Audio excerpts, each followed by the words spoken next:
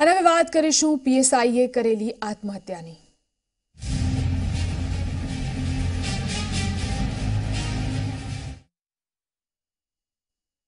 કરાઈના તાલીમી પીએસઆઈની આત્મહત્યા મુદ્દે મૃતક પીએસઆઈની પત્નીએ ચોંકાવનારો આક્ષેપ કર્યો છે.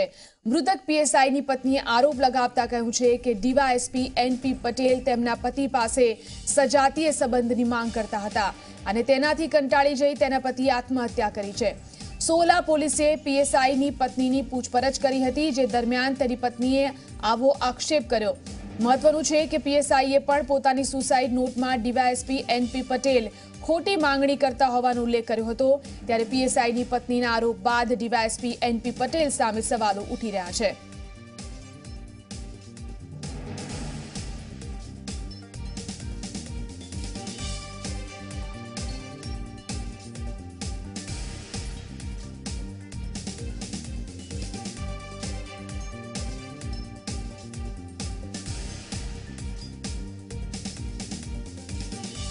તો અમદાવાદના પીએસઆઈ રાઠોડના આપઘાત કેસની તપાસનો ધમધમાટ શરૂ થઈ ગયો છે. પોલીસ કમિશનર એ કે સિંહે ટીમ બનાવવા માટે આદેશ કર્યો છે.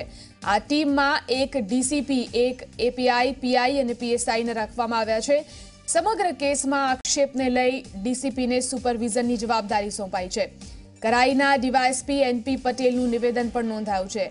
કેસ અને આક્ષેપ બાબતે સહ તાલીમાર્થીઓ પીએસઆઈના નિવેદન પણ નોંધવામાં આવ્યા છે. ઉપરાંત કરાઈ કેમ્પસના સીસીટીવી ફૂટેજ પણ તપાસવામાં આવ્યા છે.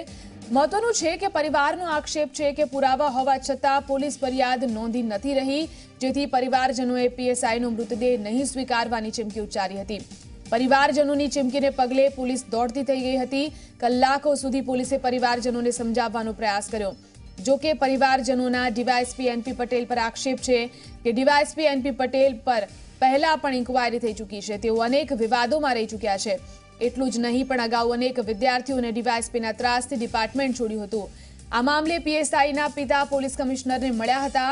પોલીસ કમિશનરે તેમને તટસ્થ તપાસનું આશ્વાસન આપ્યું હતું.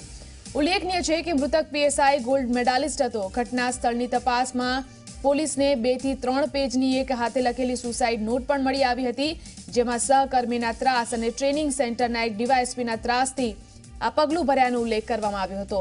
પોલીસની પ્રાથમિક તપાસમાં સામે આવ્યું હતું કે જે રિવોલ્વરથી પીએસઆઈએ આપઘાત કર્યો હતો તે ખાનગી રિવોલ્વર હતી.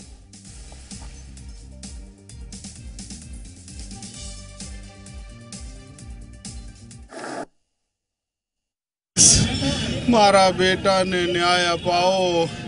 મારો વાઘ જેવો છોકરો જતો રહ્યો. કોઈએ ગીદડે એની હત્યા કરાવી દીધી, હત્યા કરી નાખી. એ લોકો કેવો ત્રાસ આપતા હતા, મને જી ખબર. એની સુસાઇડ નોટમાં લખેલું છે. એને ન્યાય મળવો જોઈએ, એક નાની ડબુડી છે, એને બી છોડીને જતો રહ્યો. મારે એફઆઈઆર અત્યારે હાલ લોન્ચ કરાવી છે, અને એના માટે અમે પ્રયાસ કરી રહ્યા છીએ. અને એ લોકો એમ કહે છે કે ડેડ બોડી તમે લઈ જાઓ અને આપણે સાંજ રાત સુધી આપણે એફઆઈઆર લોન્ચ કરીએ. પણ અમને એમાં ઇન્ટરેસ્ટ નથી. અમારે એફઆઈઆર અત્યારે લોન્ચ કરાવી છે. એ માણસ જે મારા ભાઈની મોતનો જિમ્મેદાર છે એ માણસને સજા મળવી જોઈએ. મારા ભાઈને ન્યાય મળવો જોઈએ. એ માંગણી ઝોન વનના રાઠોડ સાહેબ. પણ એને એમને એમ કીધું કે આ વસ્તુ ના થાય અત્યારે.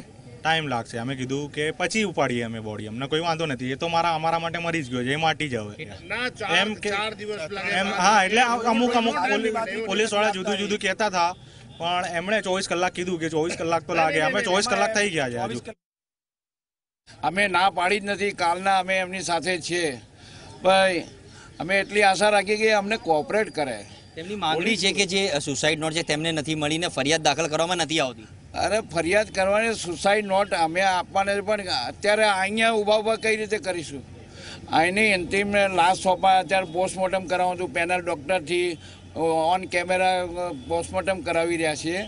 એનાથી વિધિન અમે કે શું કરી શકીએ? અને અમે એની કન્ટેન્ટ લઈ રહ્યા છીએ. આજે કોઈ પણ કાગળમાં કોઈનું નામ લખાઈ જવું એની અમારે એનો પુરાવો પણ જોઈએ કે નહીં? અમે we are the neutral man અમે જ્યારે પોલીસ સ્ટેશનમાં અમે એક પોલીસ સ્ટેશનના જ્યારે થાણા ઇન્ચાર્જ તરીકે બેસીએ છીએ, ત્યારે અમે એક ન્યુટ્રલ મેન છીએ. અમારે કોઈનું કોઈ આવતું નથી.